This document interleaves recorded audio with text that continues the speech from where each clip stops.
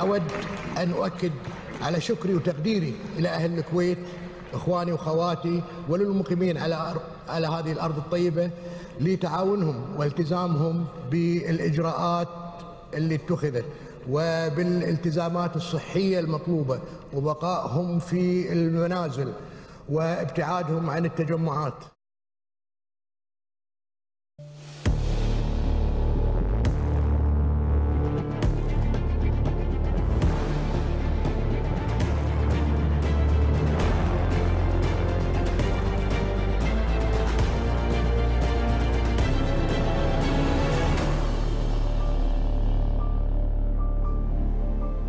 بين الحظر والحجر اختلفت الحروف وظل المعنى قريب. سلوكياتنا تجاه الحالتين أظهرت فرق واضح. خلانا نواجه نفسنا واستوعبنا شلون الفرد الواحد يقدر يخلق فارق كبير في مصير الجماعة. اليوم زبدة اللي صار اللي دائما نحاول نخليكم على اطلاع عليها في برنامج ظرف استثنائي أبرز الأشياء اللي صارت المؤتمر الصحفي لمعالي وزير الخارجية. شنو قال معالي وزير الخارجية؟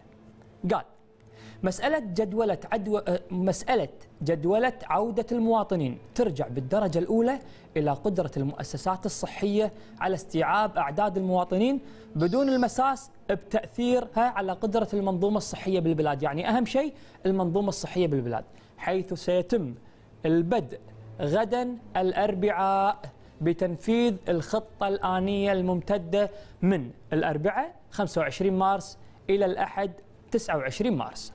زين من وين بنبدي؟ وشنو الدول؟ الدول اللي راح يكون منها الإجلاء وعودة المواطنين. رقم واحد الدول الموبوءة واللي تكون فيها الرعاية الصحية متأثرة ومتعثرة. إيطاليا لبنان إيران وأسبانيا. بعدين رقم اثنين الدول الأكثر تمركز للمواطنين مستوفي شروط السلطات الصحية. القاهرة بريطانيا أمريكا وفرنسا. بالمرتبة الثالثة تي دول مجلس التعاون وفق التنسيق القائم مع مجلس وزراء الصحة لدول مجلس التعاون وقال لنا راح يبتدون من البحرين والإمارات. وعلى طاري الإمارات نشوف فيديو واحد من طلبتنا فهد العجمي من الإمارات. شوفه معاكم. السلام عليكم. معكم الطالب فهد منصور العجمي ادرس في المملكه المتحدة. أحب اني أوصل رسالة شكر حق والدي سمو الشيخ صباح الأحمد وولي عهده آه على دعمهم لنا كطلبة في الخارج.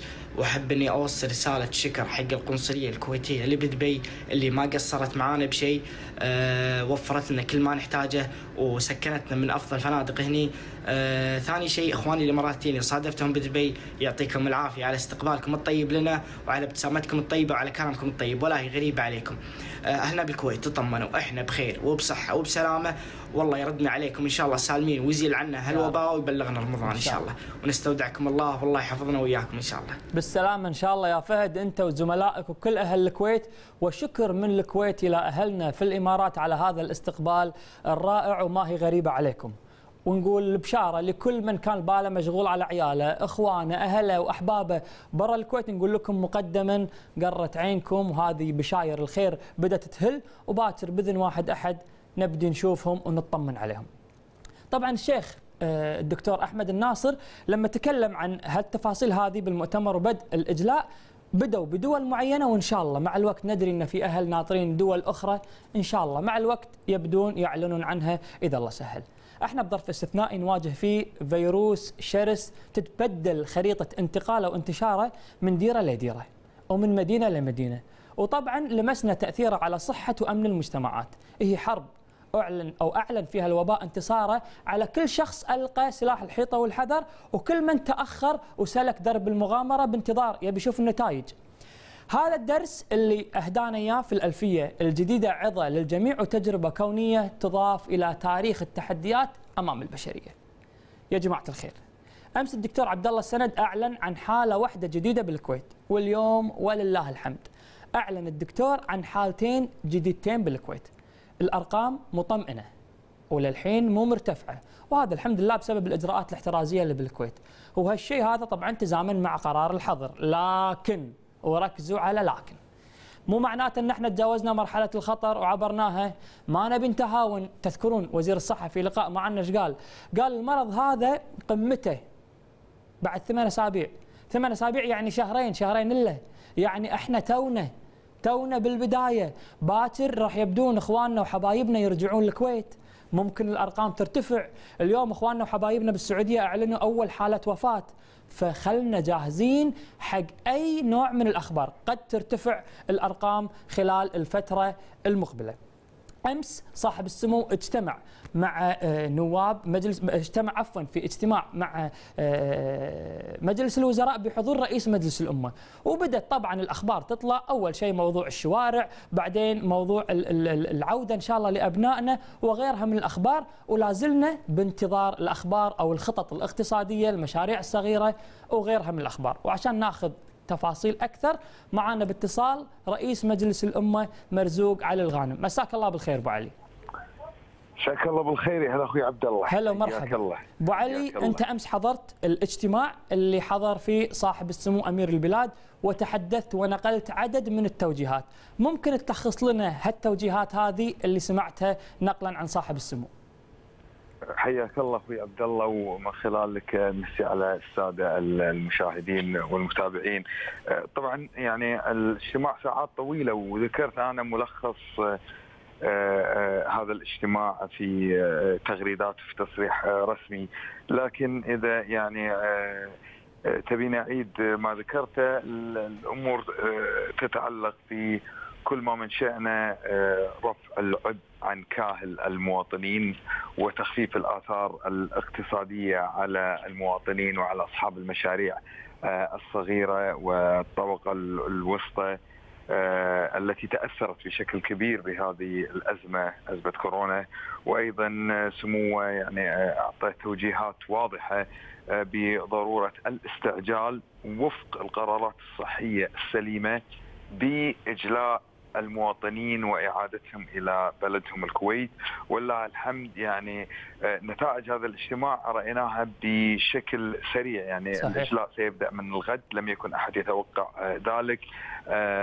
البنوك اليوم مشكورين قاموا بمبادرة منهم ودون أي دعم حكومي بتأجيل الأقساط على المواطنين والمشاريع الصغيرة لمدة ستة أشهر. دعينا بعض المؤسسات الحكومية الأخرى مثل التأمينات الاجتماعية أن تخطو ذات الخطوة تجاه المتقاعدين. تتوقع راح يكون في تفاعل مع هالدعوة أبو علي؟ بنك الائتمان وواثق كل ثقة فيهم إن شاء الله ببنك الائتمان والتأمينات الاجتماعية وغيرها من المؤسسات أن يحذو حذو المصارف اليوم. فإن شاء الله يعني اللي, اللي قاعد نشوفه حقيقة هو عبارة عن فزعة وفزعة وطنية ولحمة حقيقة تجسدت في أن يكون الجميع في خندق واحد. وتحت قيادة وراية حضرة صاحب السمو أمير البلاد التي الذي كما ذكرت في جلسة اليوم وفي اجتماع الأمس قاد البلد في هذه الأزمة بحنكة وحكمة كعادته دائما. أبو علي اليوم شفنا مشهد يعني أنا عن نفسي ما شفته من قبل ما أدري إذا هو سابقة ولا حدث من قبل أول ما دخلوا إخوانكم الحكومة صار في تصفيق يعني هذه هذه الحركة يعني لأول مرة إحنا نشوفها ف ما الدافع كان من وراء هالحركة هذه؟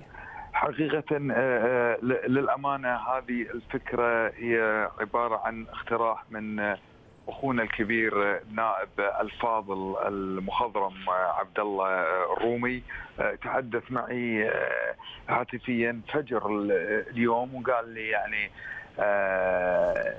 أبو علي يعني الحكومة والوزراء قاموا بجهود جبارة وإحنا دائما مجلس الأمة معروف بأنه يعني ينتقد واحيانا بقسوة وبشدة الحكومة والأداء الحكومي فعندما يقومون بجهود جبارة نحتاج إلى رفع معنوياتهم في هذه المرحلة اللي هي مرحلة دعم ومساندة. نعم. وهذا نتيجة يعني خبرته وسمو أخلاق الأخ عبد الله لذلك يعني كلم هو بعض النواب وكلمت أنا نواب آخرين.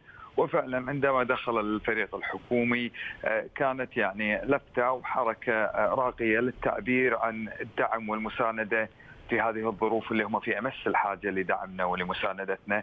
وردود فعلها كانت جدا إيجابية ليس فقط على المستوى الشعبي إنما تلقيت مكالمات من الخارج تشيد حقيقة في الكويت في من جميع النواحي الجهود الحكومية الدعم النيابي التفاعل آه، الشعبي. وقبل عدة أيام يعني كان كان مقرر أن يكون لي لقاء مع رئيس البرلمان البريطاني وكلنا نعرف ما هي بريطانيا بالنسبة للديمقراطية. فاستبدل آه، هذا اللقاء بسبب ازمه كورونا باتصال هاتفي وكان آه، يشيد اشاده كبيرة بالإجراءات الكويتية والتجربه الكويتية في مواجهة كورونا تخيل يعني بريطانيا بحجمها وبتاريخها تشيد في تجربة دولة الكويت والكويت اليوم ترسل طائرات فيها معقمات وفيها كمامات وفيها مستلزمات صحية أخرى إلى المواطنين الكويتيين في بريطانيا.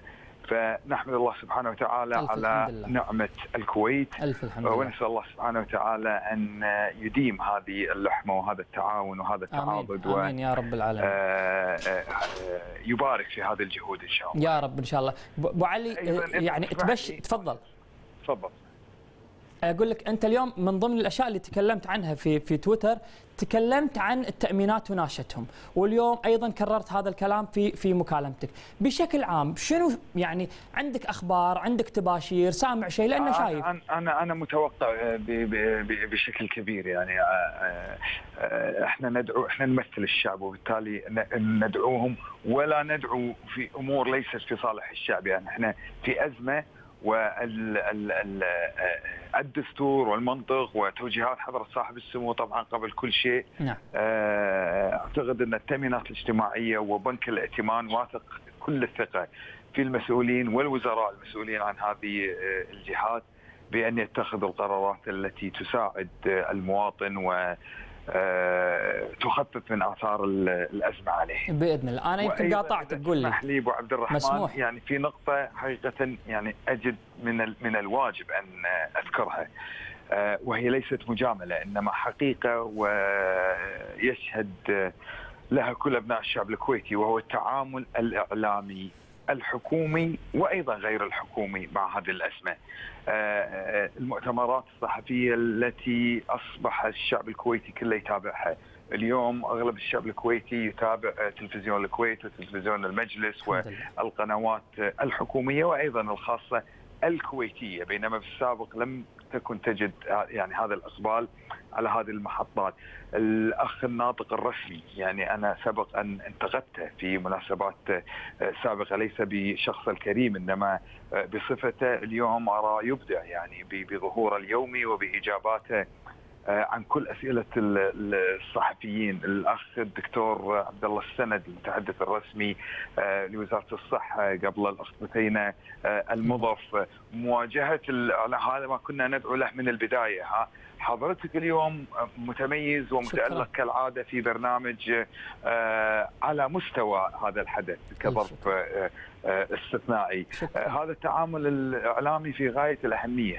الإعلام يلعب دور كبير في نقل المعلومة الحقيقية، الإعلام يلعب دور كبير في مواجهة آه، آه، سلاح سيء وهو سلاح الإشاعة. والإشاعات المغرضة، الإشاعات التي تشكك الناس في بعض الأمور، الإشاعات التي تدخل الفزع والهلع والريبه وعدم الثقة بأجهزة الدولة عن طريق بعض يعني أدوات الطابور الخامس، هذا كله لا يواجه إلا بإعلام قوي، إعلام صريح، إعلام شجاع، إعلام جريء، إعلام يواجه ولا يخاف من من من المواجهة.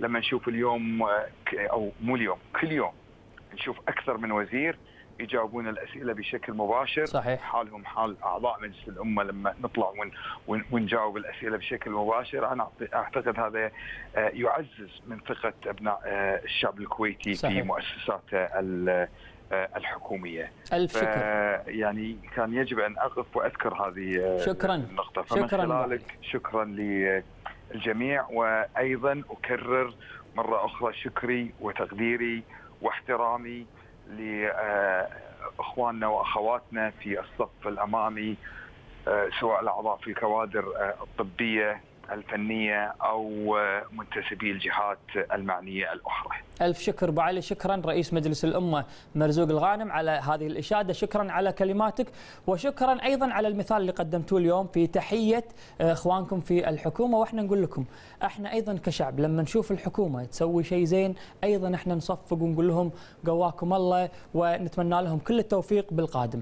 أبو علي في مكالمته تكلم وتمنى إن شاء الله ان من التأمينات وبنك الائتمان إنه يحذون حذو البنوك، إحنا قلنا ناخذ المعلومة من مصدرها. معانا رئيس مجلس إدارة والمدير العام لبنك الائتمان صلاح المضاف، مساك الله بالخير. الله بالخير. هلا أخوي عبد الله. يا هلا ويا مرحبا، يعطيكم العافية. الله يعافيك أخوي عبد الله. الله يحفظك. قواكم الله على جهودكم وأكيد على عملكم خلال هذه الفترة، إحنا نبي منك الزبدة، ظرف استثنائي دائما يبحث عن الزبدة. هل هناك نية منكم في بنك الائتمان بتأجيل الأقساط على المواطنين؟ مشكور أخوي عبد الله أول شيء على الاستضافة حياك الله. نشكر آه، تلفزيون آه، دولة الكويت في هذا الظرف الاستثنائي آه، بالتأكيد آه، بنك الائتمان حريص كل الحرص على المواطنين بشكل خاص وخصوصا وأن بنك الائتمان يخدم شريحة كبيرة أن لم تكن أغلب الكويتيين صحيح. بهذه الجهة يتمتعون فيما تقدمه الدولة من دعم في القروض العقارية.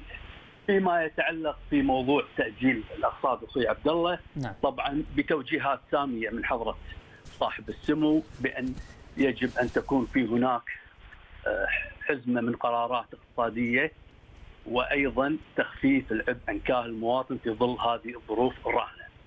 فبناء على هذه التوجيهات تم تشكيل لجنة اقتصادية نعم. من قبل مجلس الوزراء وهذه اللجنة تجتمع بشكل آه، مستمر في هذه الأيام بالتنسيق مع كل الجهات ذات صلة من بينها بنك الائتمان الكويتي. نعم.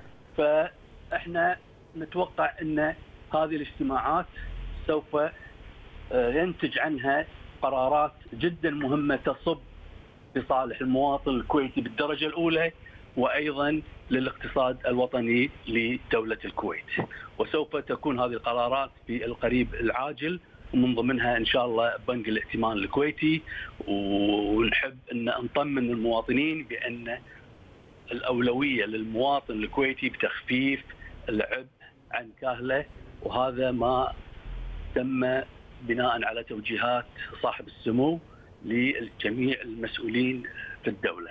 ألف شكر واضح ونتمنى إن شاء الله أن نسمع منك الأخبار الطيبة والتباشير قريبا موفقين إن شاء الله باجتماعاتكم ونتمنى إن شاء الله نسمع هذه القرارات اللي يعني تسعد المواطنين ولا زالوا بانتظارها خصوصا أن إحنا نمر بهذا الظرف الاستثنائي. أيضا من الجهود المجتمعية والمسؤولية الاجتماعية للصندوق الكويتي آه، للتنمية الاقتصادية والعربية عندهم مبادرة ويعني ساهموا بصندوق لدعم جهود مواجهة انتشار هذا الفيروس معنا أيضا اتصال من المدير العام للصندوق الكويتي للتنمية عبد الوهاب البدر. يعطيك العافية دكتور. الله يعافيك مساك الله بالخير. مساك الله بالخير. دكتور كلمنا عن هذه المبادرة. وطبعا الصندوق الكويتي آه، كما تع- تعلم آه، يهدف دوره هو العمل بالخارج لكن طبعا يحس وعى آه، يعمل آه، لتلبية أي احتياجات آه، داخل الكويت متى ما كان هناك ذلك نعم. وإحنا نحن نعلم تماما آه، الجهود آه، العظيمة والمقدرة اللي تقوم فيها وزارة الصحة وال- والجهات الأخرى بالكويت. آه، وهذا هذا ال- آه، هذا الفيروس فيروس الكورونا وما يؤديه ويعرض آه، إمكانيات وزارة الصحة لضغوط كبيرة في الفترة الأخيرة فلذلك طبعا مجلس الإدارة آه، رئيس مجلس الإدارة اللي هو وزير الخارجية ومجلس الإدارة أقروا آه، تقديم آه، الصندوق لمنحة بقيمة 30 مليون دينار آه، تنفذ آه، عن طريق تقديم 10 ملايين آه، دينار منها آه، كحصص في الصندوق المنشأ من قبل مجلس الوزراء نعم وأن آه، أيضا نخصص 20 مليون دينار آه، لمبالغ يتفق فيها مع وزارة الصحة لاحقا على كيفية استغلالها آه، لتغطية احتياجاتهم بمكافحة ال- الفيروس. الله يعطيكم العافية. فالصندوق يست- يحاول إن يعمل ما ممكن يعمله في هذا المجال. قواكم الله وشكرا لكم على هذه الجهود.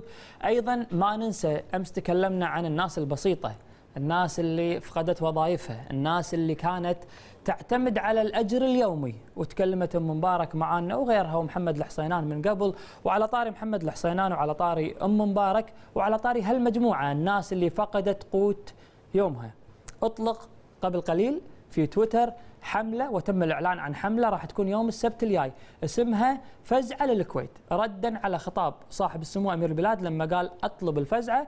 قالوا له أبشر صاحب السمو عندنا فزعة للكويت وهذه الفزعة حق الأسر المحتاجة حق الناس اللي آه، آه، تأثرت ظروفها المالية بحكم اللي صار. فنوجه لهم كل التحية ونقول لهم إحنا معاكم وموفقين إن شاء الله في جهودكم.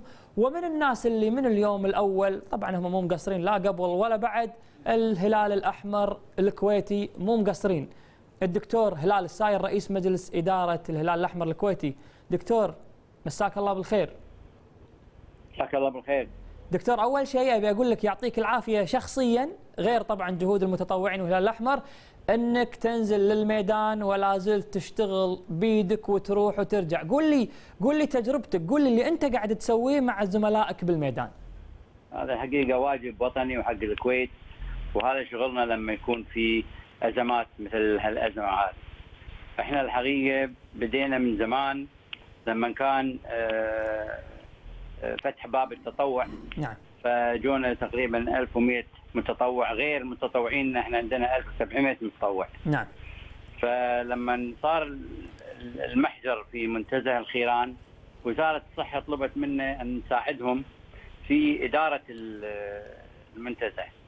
فإحنا وفرنا 100 متطوع نعم 24 ساعة ياخذون آه، تناوب وعمل لوجستيكي لوجستي وتنسيق مع الأشخاص وتسجيلهم وتوزيع ال- ال- الاحتياجات اللي يحتاجونها.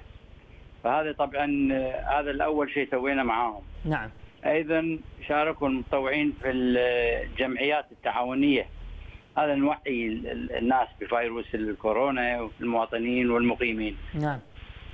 والسلال دكتور اليوم وصلني خبر عن السلال. نعم. حق منو المستفيد منها؟ السلال ال- الغذائية هي حق حرس المدارس. نعم. إحنا غطينا جميع المحافظات اللي بالكويت. نعم. وتم توزيع فيها واليوم تم توزيع على مدارس محافظة حولي. نعم. وأيضا على المقابر إحنا راح نغطي 887 مدرسة قواكم الله طبعا تعرف الحراس ما يطلعون وما نبيهم يختلطون مع الناس ولذلك قلنا نعطيهم آه، هذه السلال فيها تكفيهم حق حق إيش كثر دكتور؟ تكفيهم لمدة شهر وشنو فيها السلة؟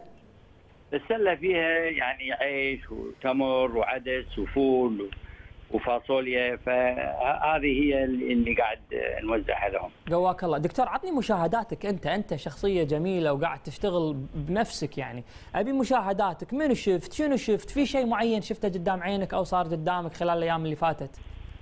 والله نشوف العمال المساكين كلهم يعني تلقاهم محتاجين مساعدة وأيضا يحتاجون توعية.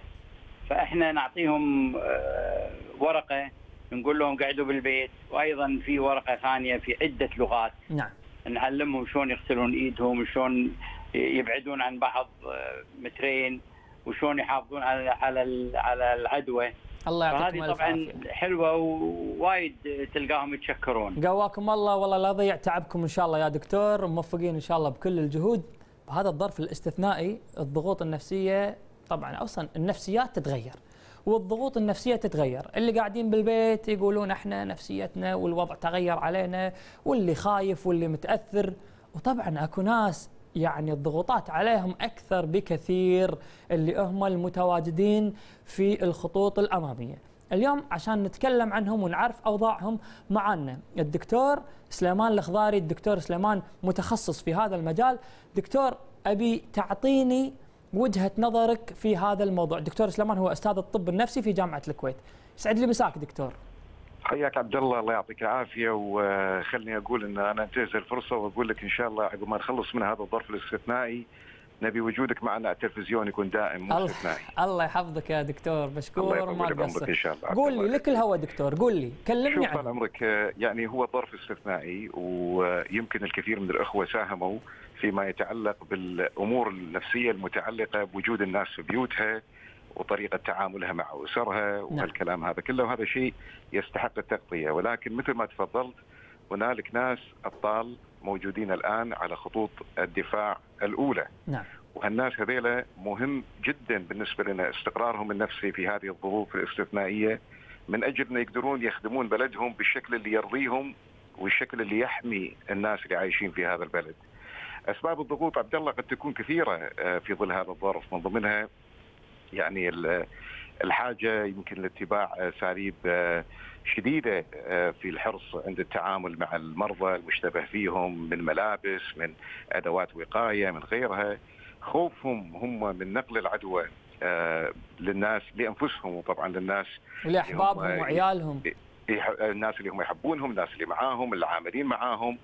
طبعا أحيانا يكون عدم توفيق أيضا بين حاجاتهم الشخصية والحاجات الوظيفية يحسون في ضغط عالي عليهم من أجل ان يشتغلون 24 ساعة وبأقصى طاقتهم بينما بعضهم قد يكون يعني عنده مشاكل صحية ضغط سكر ياخذ علاج ياخذ غيره شنو تنصحهم أو وأيضاً- شنو توجههم الوصمة؟ الاجتماعية يجب ما ننساها عبد الله لأن الناس عندها أفكار خاطئة بالنسبة للفيروس هذا في كثير من الناس تقول لك يعني بدامه قاعد يشتغل مع في خطوط الدفاع الأولى اذا هو قاعد يتعرض للعدوى اذا هذا ما نبي نتخالط معاه ما نبي نتصل معاه فهذا أيضا يلقي درجة كبيرة من الضغط عليهم. نعم. آه، يجب إن آه، العاملين في هذا المجال أو العاملين في هذه الأماكن آه، يفهمون إن اهتمامهم بالصحة النفسية مش مجرد رفاهية في هذه اللحظة، صحيح. لا هذا شيء راح يساعدهم في قدرتهم على أداء وظيفتهم بالشكل اللي يخدم أهداف تطوعهم لهذا الهدف من من حيث المبدأ، نعم. فبالتالي لما نقول لهم ديروا بالكم على روحكم إحنا ما قاعد نقول لهم صيروا أنانيين. آه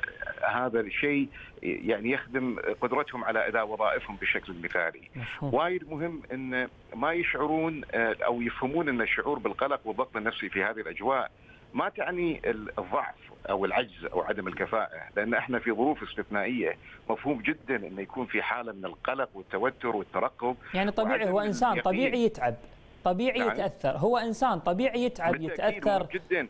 مهم جدا ان نكون منفتحين على آه، يعني آه، إنسانيتنا وعلى ضعفنا وعلى قلقنا وهذا شيء طبيعي يعني عند التعامل في هذه الأمور وهذا مو معنى كونك قلق في هذه الأجواء نعم. هذا لا يعني إنك أنت إنسان ضعيف أو أنت إنسان مو كفء هذا شيء. شيء ثاني عبد الله لازم الإنسان اللي موجود في إخواننا الموجودين في خطوط الدفاع الأولى لازم يهتمون باحتياجاتهم الأساسية. نعم. وايد مهم إنه يلتفتون لفترات راحة يهتمون بالأكل الكافي والأكل الصحي يمارسون بعض درجات النشاط الحركي نعم. بعيد عن ال- النشاط الحركي اللي قاعد يسوونه أثناء رعايتهم لمرضاهم ويبتعدون قدر الاستطاعة عن العادات الصحية السيئة السهر آه، الأكل المتأخر التدخين الزايد. وايد مهم في هذه الفترة أيضا أن يكونون على تواصل مع أحبائهم مع صحيح. الناس اللي هم يستمدون منهم القوة. ويفهمون إن إذا الناس يعني كثير من الناس اللي هم يحبونهم أو بعض الناس الآخرين ممكن يتجنبونهم في هذه الأجواء. يعني إحنا الحمد لله إحنا في القرن ال21 في هنالك الكثير من الوسائل للتواصل المباشر بالصوت والصورة ال- ال- ال video conferencing والكلام هذا قلل من المشاكل المتعلقه في هذا صحيح. الجانب وعدم صحيح. التواصل المباشر قدر شكر. دكتور أنا ودي أعطيك أكثر بعد يعني لأن حديثك لا يمل وهذه المعلومات اللي قاعد تقولها مهمة جدا وأتمنى إن شاء الله أن يعني ناخذك معنا ون- ونتكلم بتفصيل أكثر سواء كان على اللي بالخطوط الأمامية أو على اللي قاعدين اليوم بالبيوت زبدة الكلام في سنة 1929 بدأ انهيار سوق الأسهم الأمريكية وتحديدا بورصة وول ستريت. والمؤرخين أطلقوا على هالفترة هذه مصطلح الكساد الكبير لأنها بدت بالثلاثينيات وبداية الأربعينيات. وبداية الأزمة كانت بسبب طرح 13 مليون سهم للبيع بس ما حد تقدم وشرى الأسهم. آلاف المساهمين لقوا نفسهم مفلسين وخسر مؤشر داو جونز 89 بالمية من قيمته.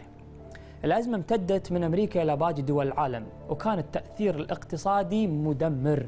التجارة الدولية تأثرت ووصل تأثيرها حتى على الأفراد. وبسنة 1933 قررت الحكومة الأمريكية مواجهة تداعيات هالأزمة وأنشأت مؤسسة لرعاية العاطلين عن العمل وأصدرت قوانين وإصلاحات اقتصادية.